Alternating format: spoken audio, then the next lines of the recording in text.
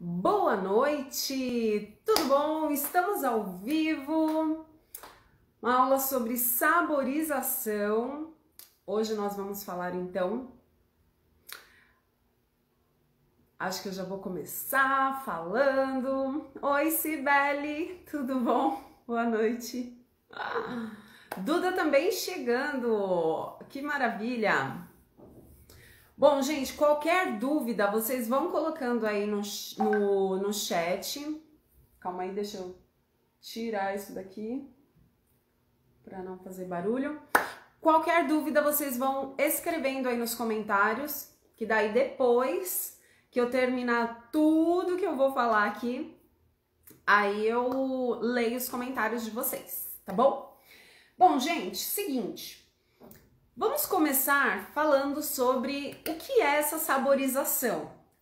Bom, a kombucha, na primeira fermentação, naquela primeira etapa que dura ali é, entre 8 e 10 dias, vai depender do clima que tá, o lugar, é, mas só na primeira fermentação a gente já tem todos os benefícios da bebida.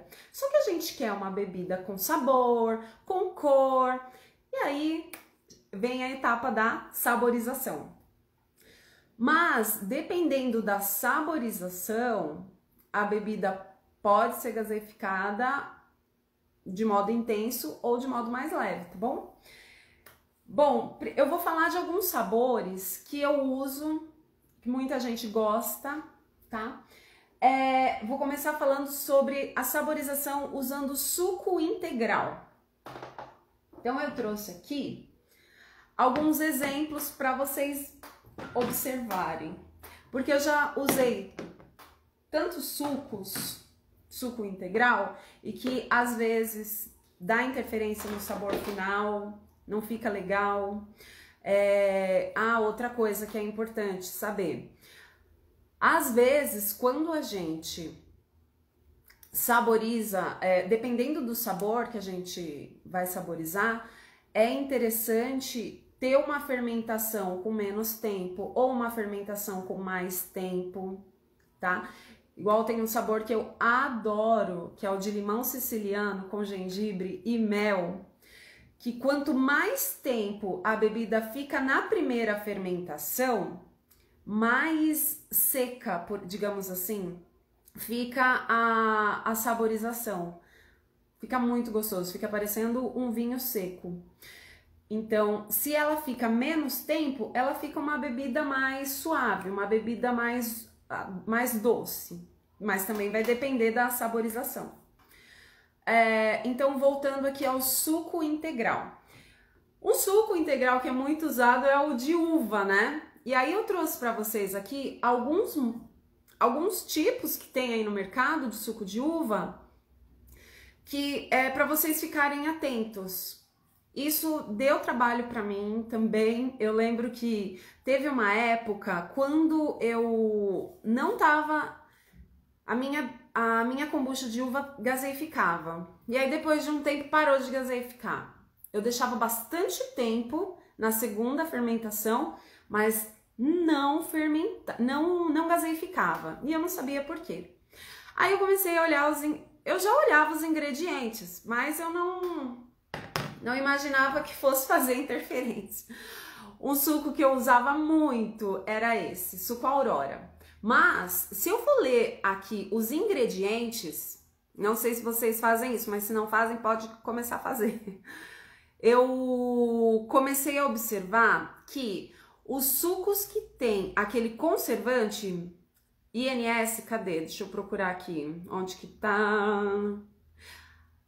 Mas esse suco de uva, é aqui achei, ele tem suco de uva tinto integral e tem o conservador INS 202. Também tem o antioxidante INS 220. Isso daqui é conservante, então isso era é, maioria dos sucos de uvas que tiver isso daqui, esses conservantes e esse conservador não é interessante. Para mim, não funcionou. Depois eu troquei por esse daqui, suco de uva da Del Valle. Não sei se vocês já usaram. Porque ele falava sem adição de açúcares, apenas ingredientes naturais. Só que daí a gente olha aqui nos ingredientes, olha quanta coisa que tem nesses ingredientes. A primeira coisa que tem é água, ou seja, a maior coisa que tem nesse suco era água. Água, suco concentrado de uva e aroma natural.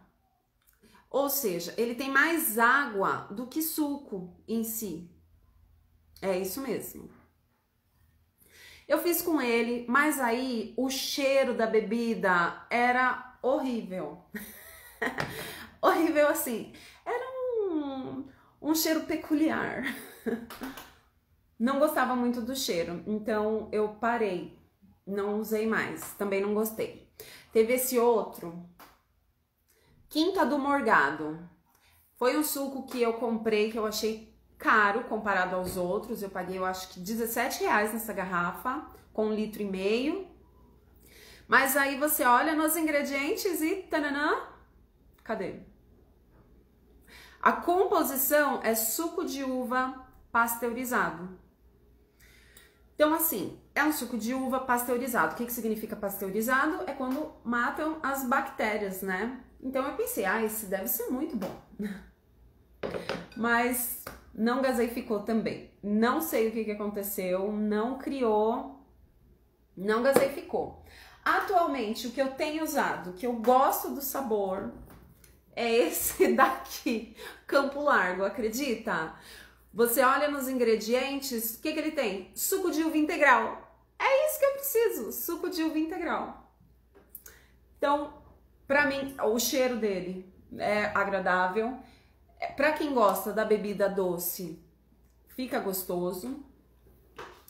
Então, essa é a minha dica para quem vai fazer suco integral, porque o suco integral facilita demais a vida de quem é kombucheiro, né? Para quem é, faz em quantidades grandes, às vezes optam pelo suco integral, pela facilidade. Então, suco de maçã, suco de laranja, sem falar dos resíduos, né? Eu não preciso ficar é, coando para tirar os resquícios. Então, essa é a minha sugestão para quem vai usar suco integral. Agora, para quem vai usar o suco de fruta.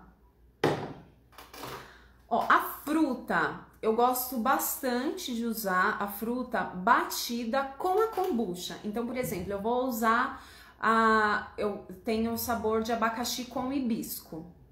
Então, a fruta do abacaxi, se eu vou fazer com a fruta, eu bato, eu peso primeiro. É muito bom vocês terem aquela balancinha, sabe, de cozinha. Eu, eu não deixei separado aqui para mostrar para vocês. Mas essas balanças baratinhas de, de cozinha, que custa uns 30 reais, 20 reais. É, essa balança, então eu peso o abacaxi, a mesma quantidade de abacaxi eu acrescento de kombucha. E aí bato no liquidificador. Bati no liquidificador e aí eu vou começar a usar os, os instrumentos, né? Primeiro eu passo por essa peneira. Ah, muito importante. Para quem faz em casa, tenha os instrumentos da kombucha. Tem muito kombucheiro que faz também kefir não é interessante usar o mesmo instrumento do kefir com o da kombucha, não misturem as coisas.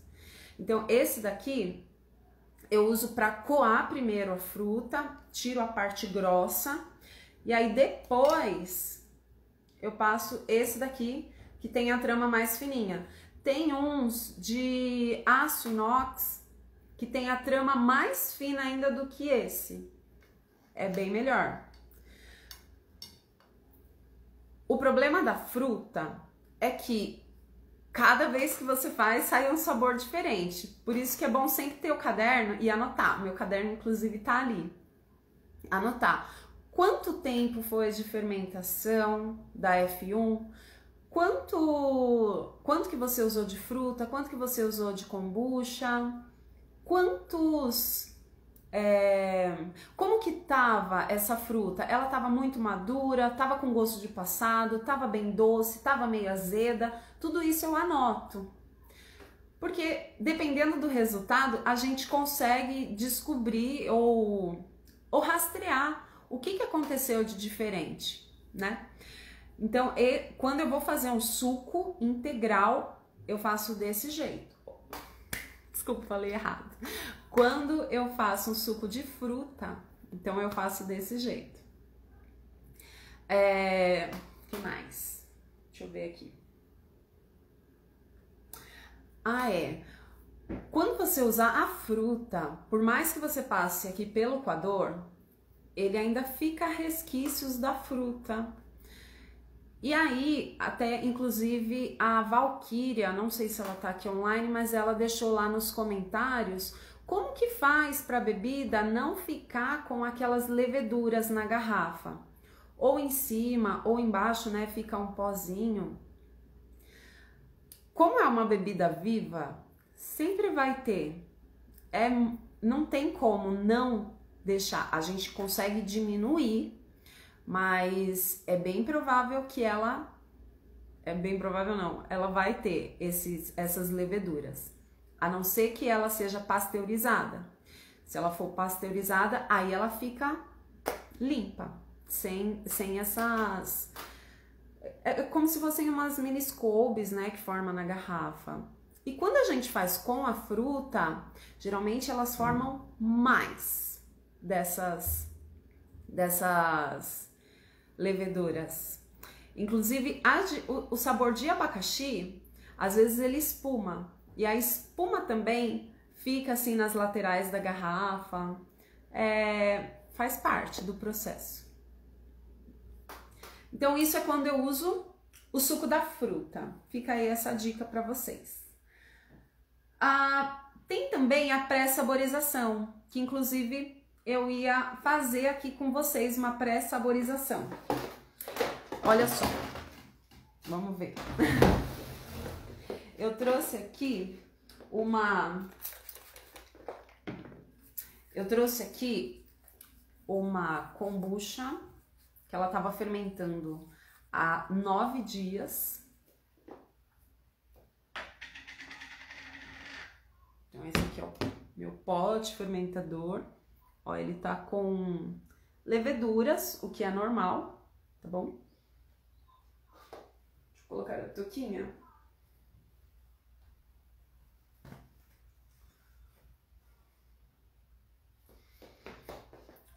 Fazer uma pré-saborização, então, o que, que eu faço? Eu tenho aqui o meu líquido, e aí, evitem usar as mãos, tá? E aí eu vou colocar as frutas no pote. Aqui no caso, eu tenho dois litros e meio de kombucha. Olha como espuma o abacaxi, eu acho que vocês não vão conseguir ver. Mas aí eu tô colocando 200 gramas, 250 gramas de abacaxi, porque eu vou fazer uma saborização de abacaxi com hortelã. E aí eu peguei aqui, tem uns dois, é, dois galhos de folhas de hortelã. Então, eu coloco aqui. Agora, nesse processo, eu coloco a tampa. E desse jeito, ele vai ficar de 12 a 24 horas. Depende do quão intenso eu quero o sabor dessa fruta na minha Scooby. E aí, esse, essa, esse pote eu vou colocar na geladeira para pegar essa saborização, tá? Então, isso daqui eu chamo de pré-saborização. Normalmente a pré-saborização. Depois desse tempo, dessas 24 horas ou 12 horas, depende, a gente coa a fruta e aí esse líquido tá pronto para engarrafar. Super fácil, né? Super prático. Então, essa daqui é a pré-saborização. Agora, a gente vai falar sobre a infusão. Infusão, normalmente, com água que faz mesmo, tá? Então, a gente faz lá, eu esquento a água, e aí, por exemplo, se eu for fazer com hibisco, eu peso a quantidade de hibisco por litro. Normalmente eu gosto de fazer igual a Rosimaia, igual a Rosimaia ensina em um dos vídeos lá dela do YouTube. São 7 gramas por litro. Então eu esquento a água, não deixo ferver. A hora que começou a soltar aquelas bolinhas no fundo da panela, aí eu jogo o hibisco, deixo infusionando por 5 minutos e aí eu coo. Quando a gente faz isso com água quente, então a gente tem que esperar esfriar para ter contato com a kombucha. Não pode fazer nada quente, tá bom?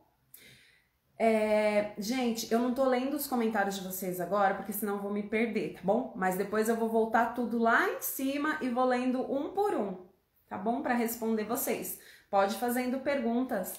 Inclusive, pode compartilhar também para mais pessoas, para que mais pessoas é tão gostoso, né, saber sobre saborização. Então, se você puder mandar esse vídeo para alguém, essa live, compartilhar, tá bom? Uh, então, na infusão, eu faço desse jeito. Peso, a, pe, peso as especiarias. No caso da, de canela em pau, por exemplo, eu vejo o tamanho, né? Eu observo e coloco na garrafa direto. Aí, como eu gosto de fazer maçã com canela, então por garrafa eu coloco um, um pedaço assim desse tamanho, fininho.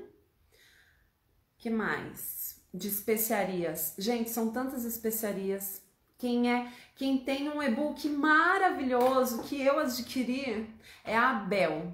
A Bel Kombucha. Gente, vocês entram lá no perfil dela, você fica perdido de tantos sabores que tem. É incrível. O, e o e-book dela tá maravilhoso. Tem extrato, tem as saborizações, muitas receitas, eu acho que tem umas 90.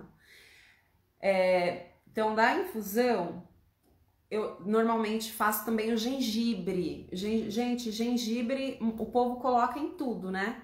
Muita gente coloca o gengibre em tudo. Eu, por enquanto, eu tô na fase do gengibre apenas com limão mas eu deixo o gengibre, eu deixo ele ferver bastante com a água, porque eu gosto daquele ai, aquela distringência, como que fala? Ah, eu gosto muito do sabor do, do gengibre. Então, quanto mais forte, melhor. Inclusive, é ele que eu misturo com limão siciliano e mel.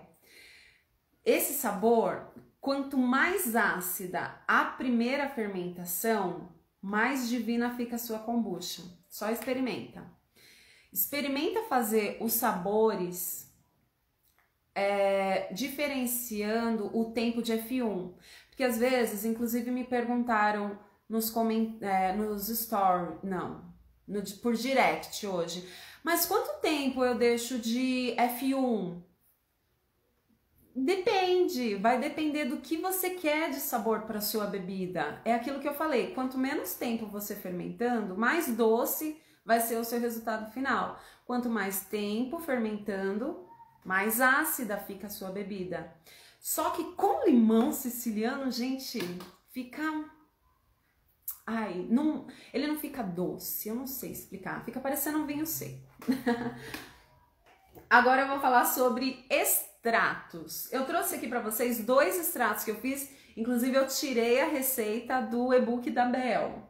Olha só, esse daqui era um extrato de espirulina. Tem gente que fala, ah, eu uso espirulina só para dar cor, que não acontece nada. Mas assim, gente, a espirulina, ela tem vários benefícios para a saúde. Depois dá uma pesquisada no YouTube para ver quantos benefícios tem. Então aqui, olha, eu fiz o extrato e aí no fundo fica a espirulina. Calma. Deixa eu voltar aqui, que eu, eu vi que o reiki da luz tá aí e eu fiquei emocionada. Boa noite! Olha só, então, voltando. Para fazer o extrato da espirulina, eu coloquei 500 ml de kombucha e coloquei uma colher de espirulina.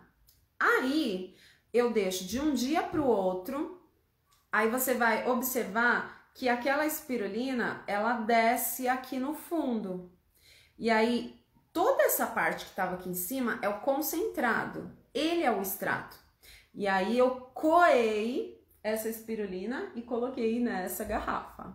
Olha que cor linda que fica. Esse daqui é o extrato de espirulina. E aí eu vou usar na minha saborização. Quanto mais espirulina eu coloco, mais verde intenso ela fica.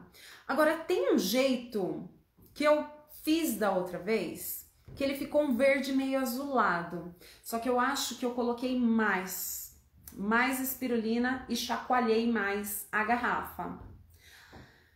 E aí ele ficou um verde meio azulado, ficou lindo, a cor ficou linda. Mas aí a minha irmã maravilhosa, Eliane, tomou. Achou que era kombucha pronta e tomou.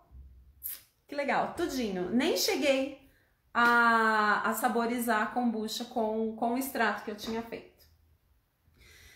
E aqui, aí voltando pra cá, eu postei um tempo atrás nos meus stories, que daí o que sobrou de espirulina eu não jogo fora.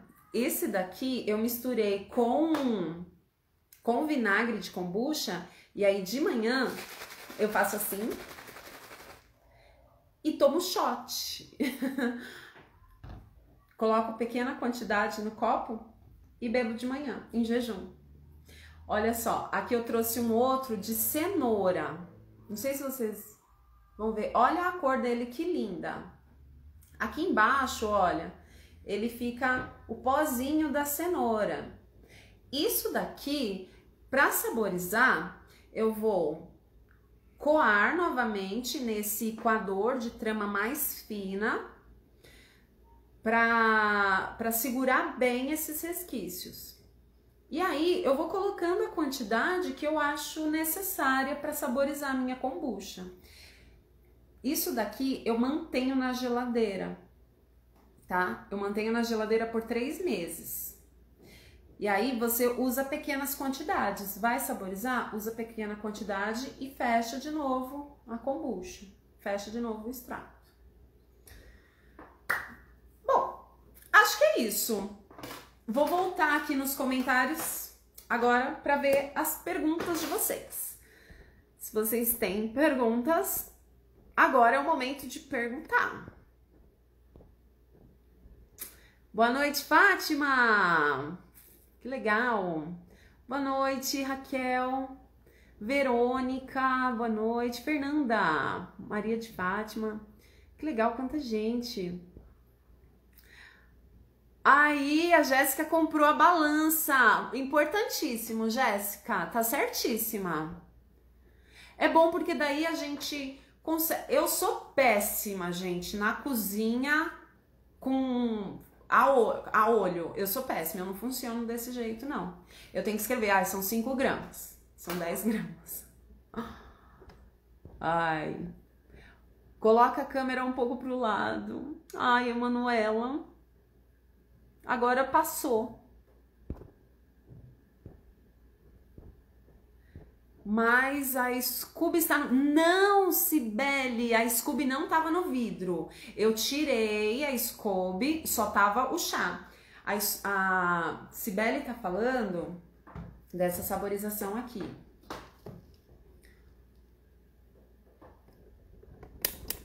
Ó. Aqui eu tirei o Scooby, não pode deixar junto com o Scooby não, tá? Então, é, eu tirei, só tá o líquido. Depois eu vou coar daquele, naqueles, vou passar nos dois coadores, tá? Só o chá, isso mesmo.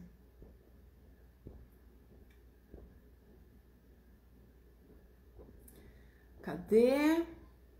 Tem mais perguntas? Não entendi sobre colocar na infusão. Ó, o da infusão, o que, que eu faço? Eu faço primeiro o chá normal, como você faz. É, por exemplo, eu vou fazer com, igual eu dei o exemplo do chá de hibisco. Fiz lá a esquentei a água, quando começou a soltar bolhas no fundo da panela, coloquei o chá, o a folha, a flor do hibisco. Eu peso 7 gramas de flor de hibisco para 1 litro de água. Coloquei o chá de hibisco, espero ali uns 5 minutos em infusão, depois eu coo e aí esse chá eu espero esfriar. Esse chá é o que eu vou usar para saborizar a kombucha. Eu não falei sobre medidas, né? Normalmente eu uso 30% da garrafa. Então, olha, pegando aqui essa garrafa, se eu vou, vou colocar, é, vou usar ela inteira de kombucha, para saborizar, eu deixo aqui mais ou menos isso mesmo. 30% da garrafa, que seria um terço aqui da garrafa, tá? Então imagina, vou dividir essa garrafa em três, seria mais ou menos essa quantidade de chá. Depois eu acrescento kombucha, depois que esse chá tá frio.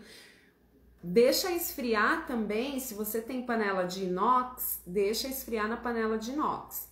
Se não tem, deixa esfriar num vidro. Não é interessante esfriar em, em plástico, né? tanta coisa ruim. É, bom, mais perguntas?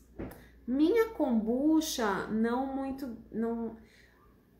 A Meire falou que a kombucha dela não dá muito gás. Então, vai, depende do que você usa também para saborizar.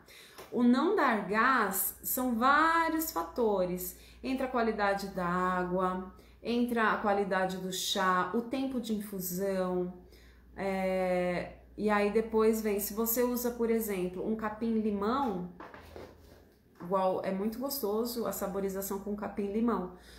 Só que ela demora muito tempo. Igual eu se eu colocar aqui uma a kombucha, fiz lá o chá de capim-limão, capim-cidreira, depende de cada lugar chama de um jeito.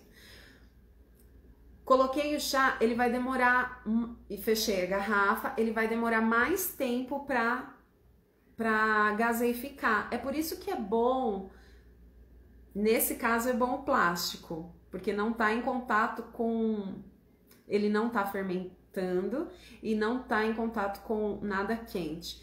Mas para quem está começando, é bom usar PET, porque daí a gente consegue apertar e ver se a garrafa tá dura. No caso, o chá do capim-limão com a kombucha, ela demora bastante para para gaseificar. Às vezes, Meire, você não está deixando tempo suficiente para gaseificar. Experimenta deixar mais tempo na segunda fermentação, tá? Esse de capim-limão mesmo que eu tô falando, eu acho que eu deixei saborizando uma semana. É muito tempo. Para mim é muito tempo. Ai, obrigada, sucesso. A Talu, amiga, fiquei confusa com o suco da fruta. Você bate nessa proporção igual da kombucha, coa e já engarrafa. É isso? Ah, olha só. Talu, uh, é o seguinte, eu faço, eu faço assim. Peguei a fruta, pesei coloquei a mesma proporção de kombucha, bati ali no liquidificador, coei. Aí esse suco é como se fosse o suco integral ou a infusão. Eu vou usar desse suco concentradão lá da fruta, só uma porcentagem aqui da garrafa, tá? Então, bati o suco, uso aqui um terço da garrafa e completo com kombucha da primeira fermentação. Espero que tenha entendido. E sim, acrescento kombucha depois. Eu uso Scooby no tempero da minha comida. Ai, que delícia! Deve ficar maravilhoso. É, tem, eu já vi gente batendo, né, com alho. Eu, eu não sei, eu não faço receitas quentes com a com a Scooby. Mas deve ficar bem, deve ser bem interessante. Bom, temos mais perguntas? Se não tivermos, vou encerrar. Deu 30 minutinhos. Vou continuar as minhas saborizações, que eu ainda tenho mais seis potes. Ah, que bom que você entendeu, tá, Lu? Qualquer dúvida pode perguntar. Comentário, direct. Bom, gente, então é isso. Qualquer dúvida pode mandar nos comentários ou por direct, tá bom? Um beijo, boa noite!